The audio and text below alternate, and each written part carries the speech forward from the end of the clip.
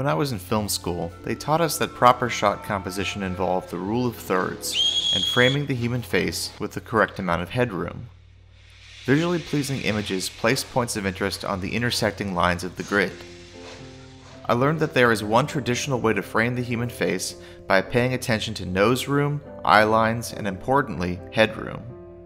The nose room signifies allowing space in the direction the actor faces. The eye lines correspond to the person or object the actor looks at, and the headroom makes sure that the shot is not uncomfortable to watch, so the actor does not have their head chopped off or seem to sink into the bottom of the frame. Most films compose actors like this, where there is only a small amount of space above the character, and even when the camera moves, the amount of headroom remains consistent and balanced. When one head is on the left side of the screen and the other is on the right side of the screen, the viewer can watch comfortably and empathize with the characters.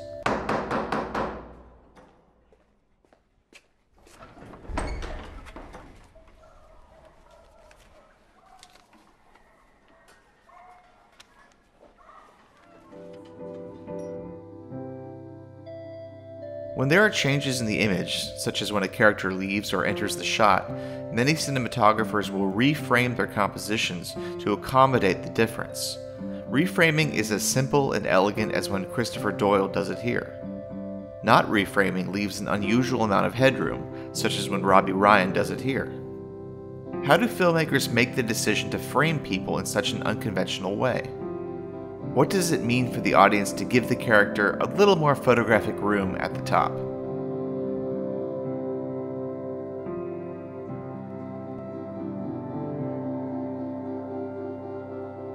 As I learned after leaving film school, cinematic rules are made to be broken, and as long as the aesthetic choice can be justified, it's fair. When filming a portrait of a person, including the environment behind the subject characterizes their inner state or comments on their predicament. An off center composition creates an imbalance, tension. Traditional film aesthetics say that when you want to show a character who is strong, you shoot them from below. If you want to show a character who is weak, you shoot them from above. When you shoot a strong character and push them down in the frame, you take away some of their power. It can make them perceived to be weaker. The director chooses to see the character in a vulnerable pose. This is the most humbling way to show their mere humanness.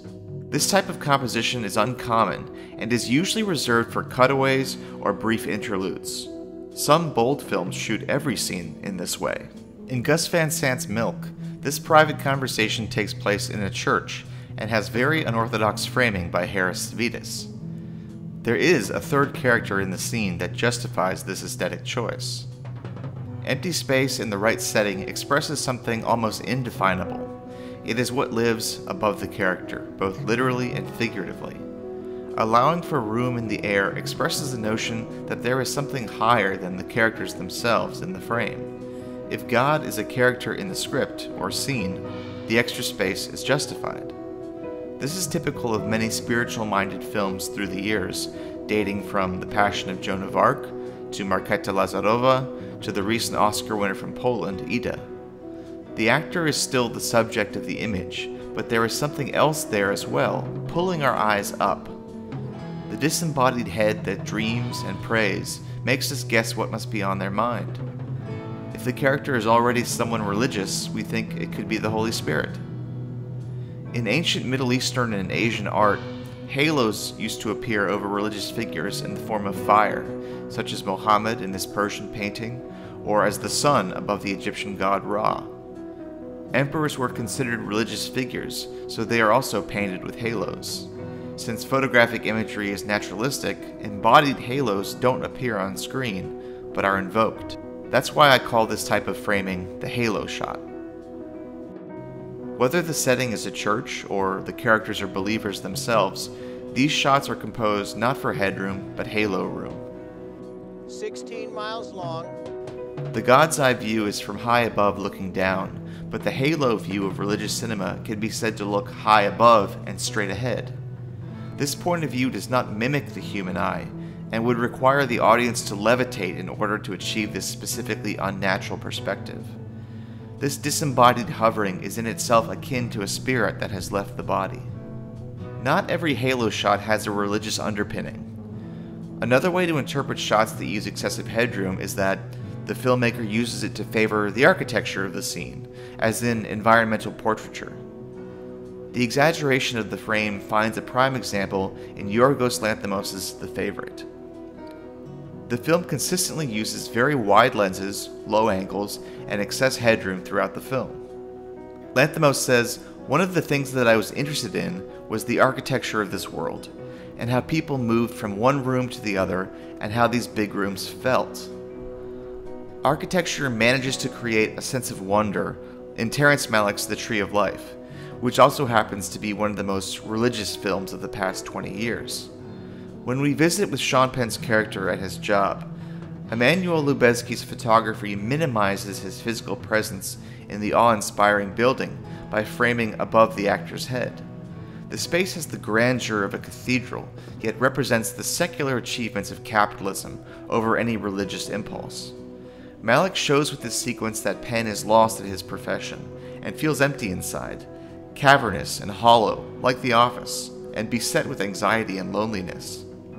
To put it bluntly, the compositions show a man in over his head. Cinema can give a visual form to abstract ideas, as Stanley Kubrick once said. If it can be written or thought, it can be filmed. A breathtaking image is still a dream, or just an illusion not unlike a vision from beyond. The experience of going to the cinema has often been compared to going to church, where light is a key component, where a shared experience among strangers gathered in a quiet space feel moved or uplifted. Cinema reflects human stories of all kinds and leaves different readings and interpretations open to the viewer. For to experience empathy, we needn't agree with the character or filmmaker. We simply must recognize our own truth in what we see. Whether the halo shot captures the thematic significance of architecture or important information that helps to define a character, a little off the top goes a long way.